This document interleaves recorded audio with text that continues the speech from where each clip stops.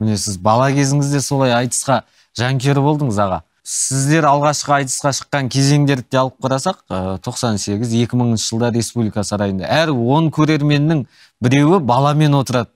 Ә, кішкентай бес алты жасар бала айтыстың соңына дейін көрермен болып ә, қолына дүрбісін алып отыратын бейнелер көп. Қазіргі балаларды айтысқа білмеймін бірең сараң болмаса қинап әкелсең де соңына дейін ұстап отыру қиын сияқты. Біздің қателік пе әлде?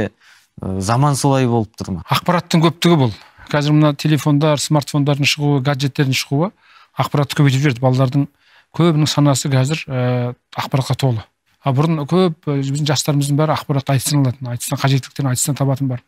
Біздің бала кезімізде ә, менің сыныптастарым мысалы үшін кейінгі мына курстастарым барлығы алматыда айтыс болса біз республика сарайына барып ақшамыз жоқ сол кезде есіктен кіреміз деп қарыз алып кіреміз ақшасы жоқ орын жоқ дегенге қарамай сыртынан сындырып кіріп ақшаны түргеп тұрып көрген. Онда көзіміз көрді. Сондай бір қажеттілік болатын. Жүрсін ағамыз айтып жүр ғой заманауи өнерлердің ығында қалып жұтылып кеткенде айтыс солармен бәсекеге шықты деп. Халық айтысқа әлі күнге шейін сол билет іздейді.